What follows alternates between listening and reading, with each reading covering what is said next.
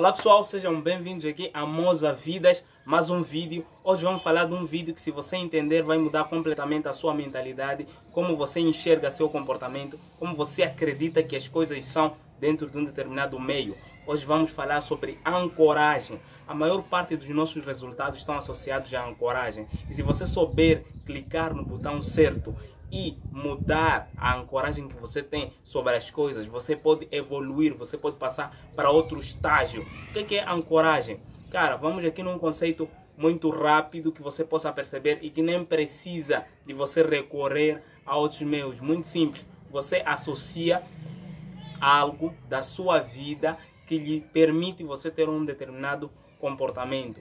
Então, por exemplo, você teve uma experiência passada sobre aranhas. Uma aranha te picou e você encheu. Você associa aranhas à dor, a dor a um determinado prejuízo que lhe causou desconforto durante muito tempo. Então, isso é uma ancoragem. Você ancorou a aranha e sempre que você visualizar ou você experienciar em algum momento uma aranha, você vai ter um determinado comportamento, se afastar dela, fugir dela, ter medo de aranhas, não quiser ficar perto, não tocá-la, se calhar nem, nem sentir o cheiro. Isso é ancoragem. Você criou uma ancoragem com aquilo e você moldou um determinado comportamento a partir daquilo. Muitos de nós temos isso.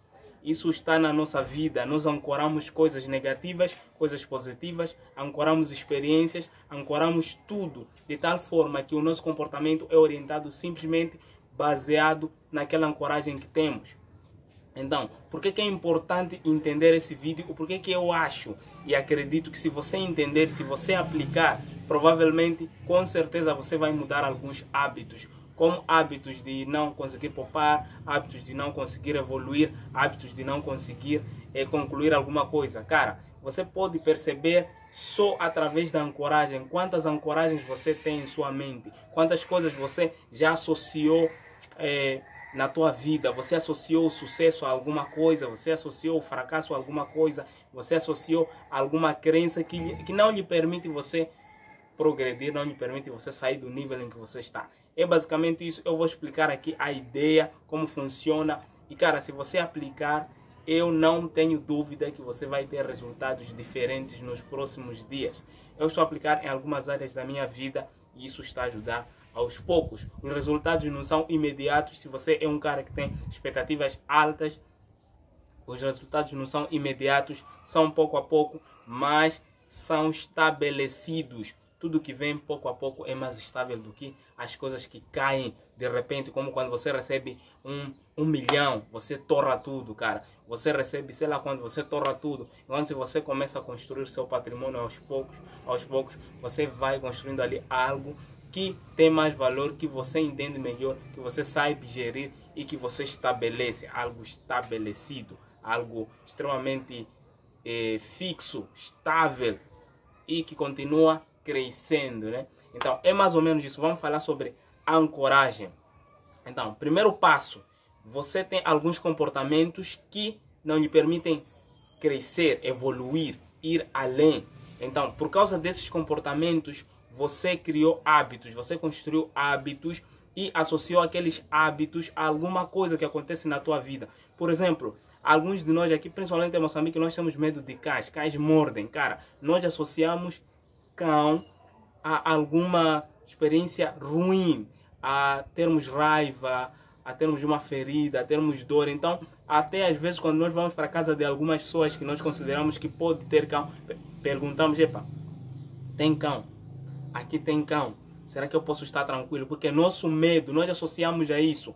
Como, por exemplo, na sua vida você não consegue passar dos 5 mil meticais, por exemplo. Você não consegue fazer negócio de passar dos 5 mil. Sempre que você está ali nos 5 mil meticais, você torra todo o dinheiro e volta ao zero para conseguir outro. O que é isso? É uma ancoragem. Você associou os 5 mil meticais a um estado de tranquilidade. Quando você tem os 5 mil meticais, você acredita que, cara, eu estou no auge disso. E como estou no auge, não é mal, não é ruim eu gastar. Então, tem um, você estabelece ali um comportamento baseado na ancoragem que você começa a seguir aquilo como um modelo de vida. Você determina que se eu estiver, por exemplo, abaixo de mil, eu estou péssimo. Se eu estiver acima de cinco mil, eu estou muito bem e posso gastar, posso viver como eu quiser. Isso é uma ancoragem, é uma crença que você associou e sempre você vai ter esse problema porque você tem uma ancoragem diferente, uma ancoragem que lhe prejudica, uma crença que lhe prejudica e que não permite sua evolução.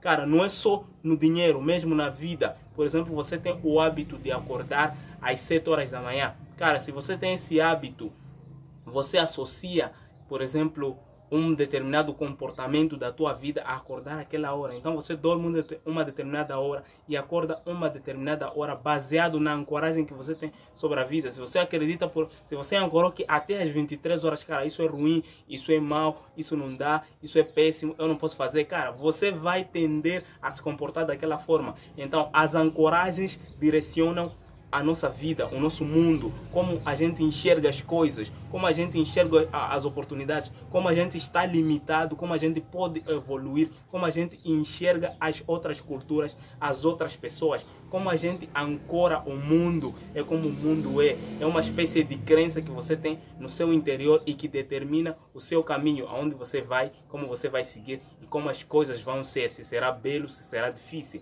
Então tudo é baseado literalmente na ancoragem. E só para terminar este vídeo, para não ficar muito mais longo, vou contar aqui uma história que é de Pavlov. Você já ouviu provavelmente essa história. Os psicólogos devem saber mais. Cara, é o seguinte, eles faziam o quê? Tocavam um sino na altura em que davam de comer um, o cão. Então, o sino tocava e eles davam de comer o cão. Ao mesmo tempo, no mesmo momento, o que, que aconteceu?